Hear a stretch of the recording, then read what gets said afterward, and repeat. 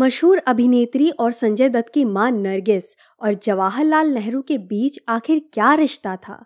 इस पर चर्चा करने से पहले जद्दन बाई और दिलीपा बाई की प्राथमिक जीवन पर प्रकाश डालना चाहूँगी। नमस्कार दोस्तों, मैं हूँ अलीशा और स्वागत है आपका हमारे यूट्यूब चैनल बायोग्राफी डायरी में। कुछ लोग जिन्हें हमारी बातें पसंद नहीं आएँगी। इसलिए हम उस किताब का रेफरेंस देना चाहेंगे, जिसमें ये बातें विस्तार के साथ लिखी गई हैं। अभिनेत्री नरगिस की लव स्टोरी पर लिखी गई किताब डार्लिंग जी में इन संबंधों का ज़िक्र हुआ है। जतन बाई की माँ, दिलीपा बाई, मंगल पांडे के नाना नानी के घराने से ताल्लुक रखने वाले राजेंद्र पांडे की बेटी थी। उनका विवाह 1880 के साल में उत्तर प्रदेश के बलिया में हुआ था, लेकिन शादी के एक हफ़्ते के अंदर ही उनके पति गुजर गए। दिलीपा की उम्र उस वक्त सिर्फ़ तेरह साल थी। उस जमाने में विधवाओं की ज़िंदगी बेहद तकलीफों भरी होती थी। ज़िंदगी से निराश होकर दिलीपा एक रोज आत्महत्या के इरादे से गंगा की तरफ़ चल पड़ी, लेकिन रात में रास्ता भटक कर मियाँ जान नाम के एक सारंगी वादक के झोपड़े में पहुँच गई, जो तवायफों के कोटे पर सारंगी बजाता था। मियाँ जान के परिवार में उसकी बीवी और एक बेटी मलिका थी। वो मलिका को भी तवायफ बनाना चाहता था। दिलीपा को मियाँ जान ने अपने घर में शरण दी और फिर मलिका के साथ साथ दिलीपा भी धीरे धीरे तवायफों वाले तमाम तौर तरीके सीख गई और एक रोज चिलबिला की मशहूर तवायफ रोशन जान के कोठे पर बैठ गई। रोशन जान के कोठे पर उस जमाने में नामी वकील मोतीलाल नेहरू का आना जाना रहता था, जिनकी पत्नी पहले बच्चे के जन्म के समय गुजर गई थी। दिलीपा के संबंध मोतीलाल नेहरू से बन गए। इस बात का पता चलते ही मोतीलाल के घर वालों ने उनकी दूसरी शादी लाहौर की स्वरूप रानी से करा दी, जिनकी उम्र उस वक्त पंद्रह साल थी। इसके बावजूद मोतीलाल ने दिलीपा के साथ संबंध बनाए रखे। इधर दिलीपा का एक बेटा हुआ, जिसका नाम मंजूर अली रखा गया। उधर कुछ ही दिनों बाद 14 नवंबर अठारह सौ नवासी को स्वरूप रानी ने जवाहरलाल नेहरू को जन्म दिया। साल 1900 में स्वरूप रानी ने विजय लक्ष्मी पंडित को जन्म दिया और 1901 में दिलीपा ने जद्दन बाई को जन्म दिया। इसका मतलब ये है कि मोतीलाल नेहरू को दो बीवी से चार बच्चे हुए। मंजूर अली आगे चलकर मंजूर अली सोख्त के नाम से बहुत बड़े मजदूर नेता बने और साल 1924 में उन्होंने यह कहकर देश भर में सनसनी फैला दी कि मैं मोतीलाल नेहरू का बेटा और जवाहरलाल नेहरू का बड़ा भाई हूँ।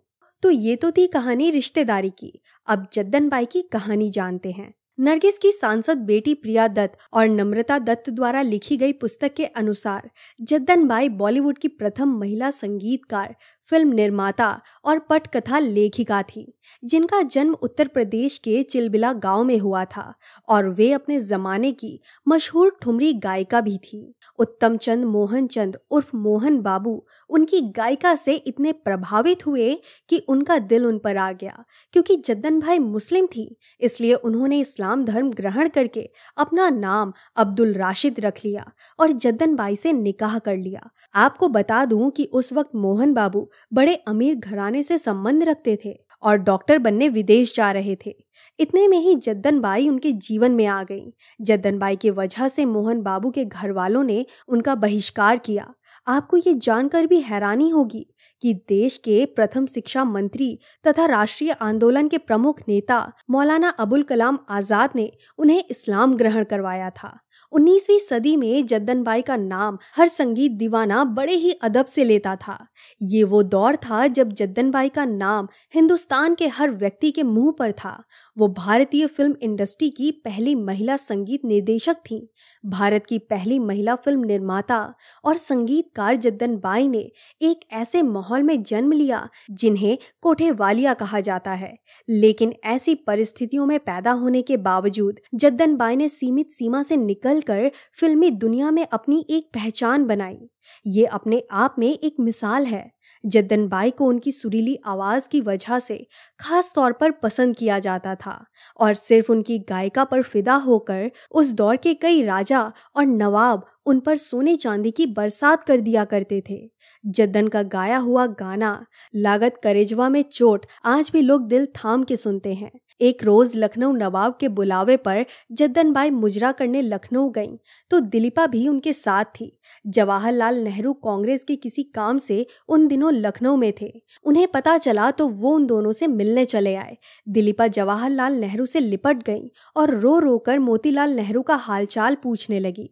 मुजरा खत्म हुआ तो जद्दन बाई ने जवाहरलाल नेहरू को राखी बांधी। साल 1931 में मोतीलाल नेहरू गुजरे तो दिलीपा ने अपनी चूड़ियाँ तोड़ डाली और उसके बाद से वो विधवा की तरह रहने लगी। जद्दन बाई अपने जीवन के दिनों में बेहद सुंदर थीं।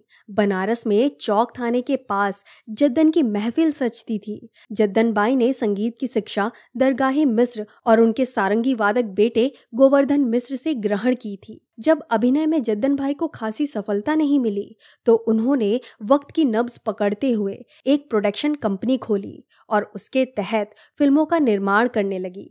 जद्दन बाई किस्मत आजमाने के लिए मुंबई भी आईं, जहाँ उनकी ठुमरी गायकी को भरपूर प्रशंसा मिली। उन्होंने फ़िल्म निर्माण प्रारंभ किया, जिसमें पहले पति से जन्मे बेटे अनवर खान को नायक बनाया। उसके बाद उन्होंने नरगिस को भी अभिनय क्षेत्र में उतारा। 1935 में रिलीज़ हुई फ़िल्म, तलाशे हक में, छह वर्षीय नरगिस ने अपने फिल्मी करियर की शुरुआत की थी। उसी फ़िल्म में जद्दन बाई ने भी खुद संगीत देकर सर्वप्रथम महिला संगीतकार होने का रुतबा हासिल किया। बरसात फ़िल्म के निर्माण के दौरान जद्दन बाई की मृत्यु हो गई। वे लंबे समय से कैंसर ग्रस्त थी। नेहरू परिवार से जद्दन भाई का रिश्ता था, इसका आखिरी सबूत खुद नरगिस और इंदिरा गांधी हैं। अगर आप दोनों की शक्ल गौर से देखोगे तो आपको ये बात समझ आ जाएगी।